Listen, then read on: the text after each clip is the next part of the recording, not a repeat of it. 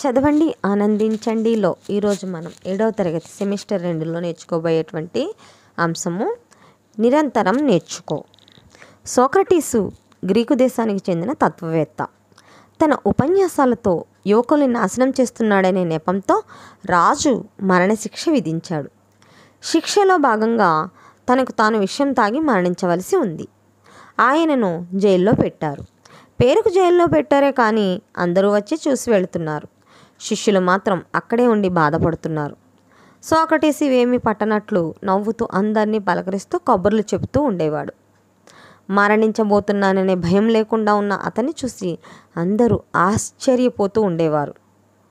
Socrates జీవితంలో చివరి రోజు రానే వచ్చింది. మరణశిక్ష అమలు కావడానికి ఇంకా రెండు గంటల సమయం ఉంది. అక్కడ శిష్యులతో పాటు అందరి ముఖాల్లోనూ ఆందోళన దిగులు ఎక్కువైంది. సోక్రటీస్ ముఖంలో మాత్రం ప్రశాంతత ఆనందము వెలుగు కనిపిస్తున్నాయి. సోక్రటీసు కిటికీలో నుంచి బయటకు చూస్తూ కూర్చున్నాడు. బయట ఒక చెట్టు కింద బిచ్చగాడు కూర్చుని ఒక వాద్యం వాయిస్తూ పాటలు పాడుతున్నాడు. అది సోక్రటీస్ మనసును ఆకట్టుకుంది. ఆనందంతో కళ్ళు మూసుకున్నాడు. కొద్దిసేపటి తర్వాత మెల్లగా కళ్ళు తెరిచి జైలర్ను పిలిచాడు. జైలర్ గౌరవభావంతో దగ్గరకు వచ్చి ఏమి కావాలి? అన్నాడు. సోక్రటీస్ కిటికీలో నుంచి చూపిస్తూ మీకు అభ్యంతరం లేకుంటే ఆ బిచ్చగాడిని తీసుకువస్తారా? అని అడిగాడు. అలానే అంటూ ఆ జైలర్ వెళ్ళి బిచ్చగాడిని తీసుకువచ్చాడు. సోక్రటీసు ఆ బిచ్చగాడితో తనకు ఆ పాట నేర్పమన్నాడు. అతని దగ్గర నుంచి వాద్యం తీసుకున్నాడు. ఆ బిచ్చగాడు పాట పాడాడు. సోక్రటీస్ పాట పాడుతూ వాద్యం వాయించాడు. ఇలా అరగంట సాధన తర్వాత బిచ్చగాడి సాయం లేకుండానే సోక్రటీస్ ఆ పాట పాడాడు. అతనికి కృతజ్ఞతలు చెప్పి పంపించాడు. ఇదంతా చూస్తున్నటువంటి జైలరు మరింత ఆశ్చర్యపోయారు. అలాగే శిష్యులు కూడా ఆశ్చర్యపోయారు. అప్పుడు శిష్యులు గురువుగారు ఇక గంటలో విషపాత్ర మీ చేతికి వస్తుంది. మీరు ఈ లోకాన్ని వదిలిపెట్టి వెళ్ళిపోతున్నారు.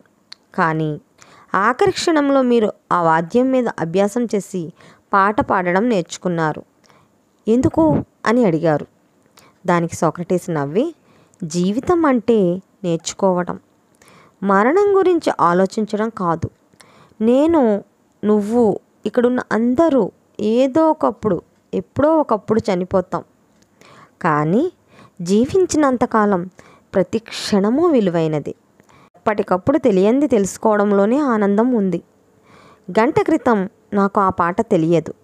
ఇప్పుడు నేర్చుకున్నాను. ఇంకా నా జీవితంలో గంట సమయం ఉంది. అంటే ఇప్పటికీ నేర్చుకోవటానికి నాకు అవకాశం ఉంది అన్నాడు. అక్కడున్న వారి నోట మాట రాలేదు. చూడండి పిల్లలు ఇక్కడ నిరంతరము నేర్చుకొని ఈయన చెప్పారు. తను చనిపోతాను అని తెలిసి కూడా ఒక గంటలో చనిపోతాను అని తెలిసి కూడా ఆయన ఆఖరి నిమిషంలో కూడా ఆ పాటను నేర్చుకున్నారు. అలాగే పాడారు. అంటే మన జీవితంలో ఏ రోజు చివరిదో తెలియదు. కానీ ఆఖరి నిమిషం వరకు కూడా మనం నిరంతరము నేర్చుకొని కొత్త కొత్త విషయాలను మనం అభ్యాసం చేయాలని ఈ కథ ద్వారా మనం తెలుసుకున్నాము.